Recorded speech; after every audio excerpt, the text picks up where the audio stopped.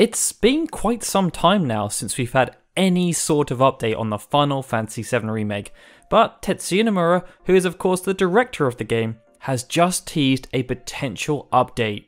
Yes, a potential update. I know that sounds rather flimsy, but let me explain as really it's classic Nomura. It comes as Nomura was speaking in the most recent issue of Famitsu Weekly alongside fellow artist Hyung Tae Kim about their respective works.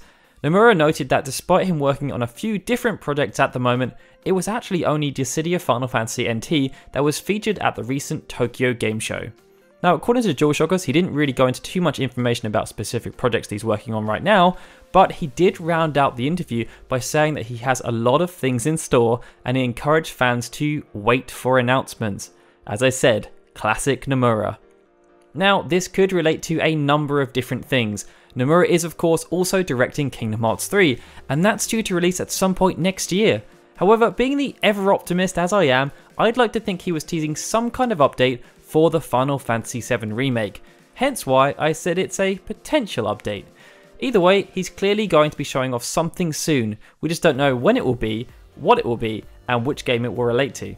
If we're looking at the pipeline though, the 2017 PlayStation experience is now around two months away, and if you cast your minds back into the distant past of 2015, you will remember that Square Enix chose this particular event to give a rather substantial update on the Final Fantasy VII Remake, so that is a realistic option. They've just been quiet for so long now that it's difficult to know what to expect. Worst case, at least from a Final Fantasy perspective, is that it's an update for Kingdom Hearts 3, something which would also be logical given that it's much closer to release, and they need to start the hype train.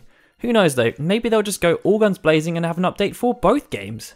Either way, despite this particular update being quite small and rather cryptic, I'm personally rather glad that Nomura is actually doing interviews like this, full stop.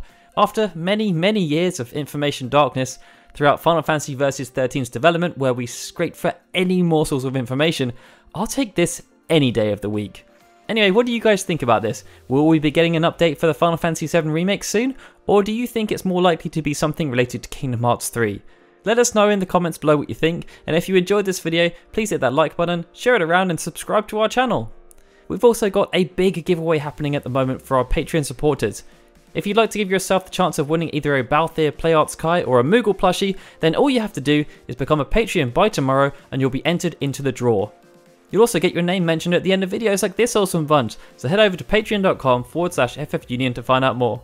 Alright guys, thank you for watching this video. This is Daryl signing out and I'll see you next time for more Final Fantasy content.